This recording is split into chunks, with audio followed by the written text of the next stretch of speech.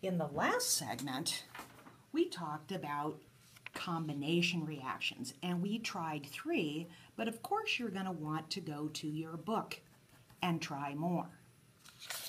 In this segment, we're going to pick up with decomposition. Decomposition means you start with one thing and you break it apart into several things. Now, these are not as easy to predict, so for the most part, you won't really have to predict. You can recognize these because you're starting with one thing and you're breaking up into multiple things. This one is a challenge to balance.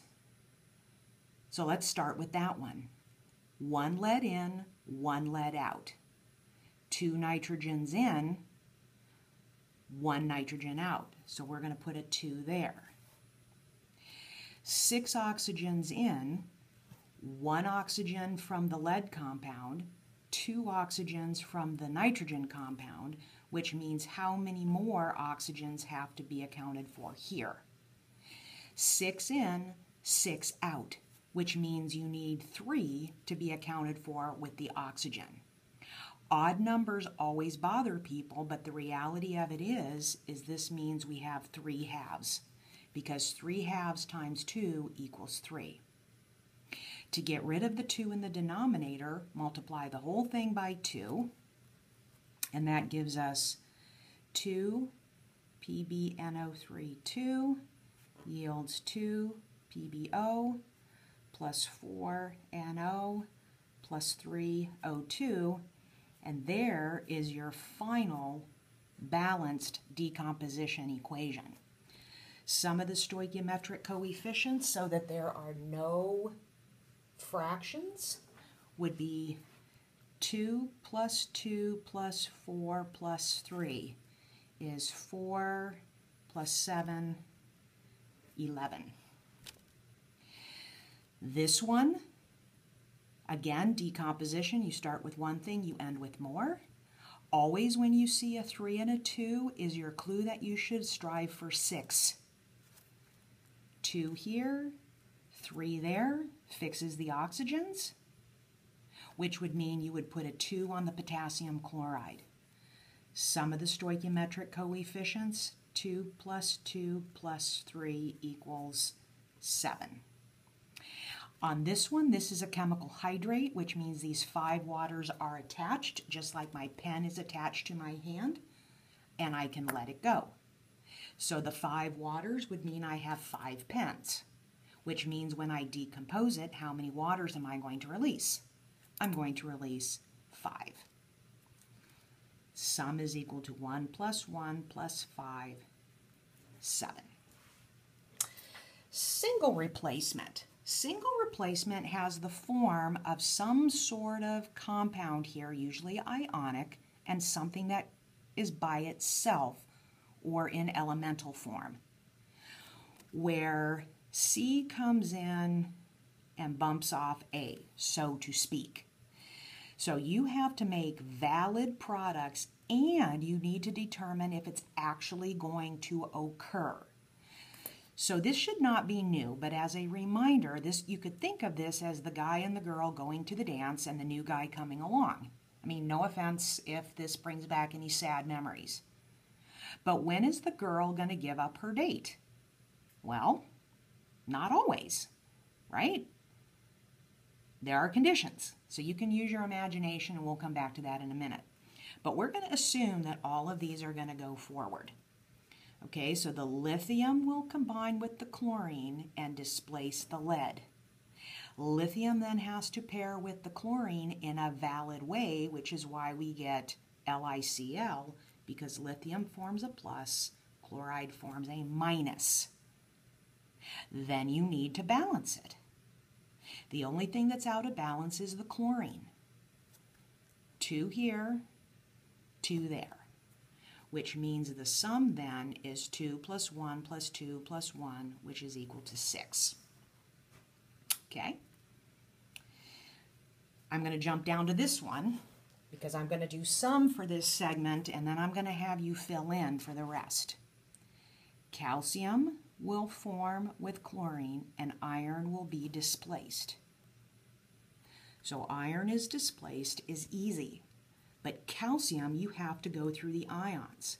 Calcium will form a plus 2, chlorine will form a minus 1, which means you need three of them to make CaCl3 as your valid product.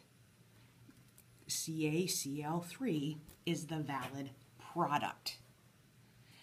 Calcium's balance, iron balanced, chlorine balance, and this is all ready to go, so our sum is equal to 4. On this one, because gold has multiple ion forms, I predicted this one for you. Okay? So this one, the, li the lithium will be displaced, and then we need to balance.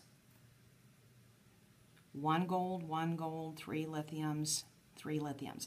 By the way, we are assuming, assuming that this will go forward because we haven't looked at the activity series yet. Okay? Zinc will displace the hydrogen. The valid form of hydrogen is H2.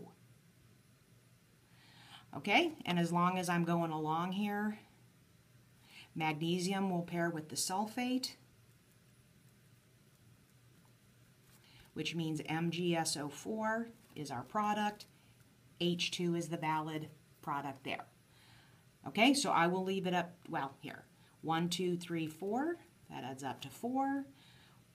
Sum is 1, 3, 1, 3. 1 plus 3 plus 1 plus 3, which is 8. 1, 1, 2, 1, 1 equals 5. Okay, again, you should pause the video and try more before moving on. Double replacement, you should have had a lot of practice with this before. This should not be new, okay? Double replacement doesn't have a single one coming in. This is more like the square dance, where both products dissociate, which means these have to be aqueous.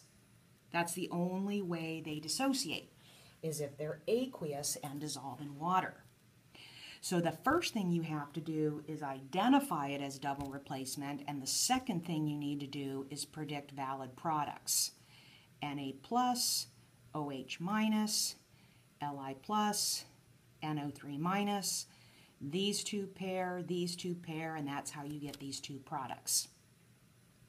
Think in groups, one sodium, one sodium, one hydroxide, one hydroxide, one lithium, one lithium, one nitrate, one nitrate. And your sum is going to be equal to 4.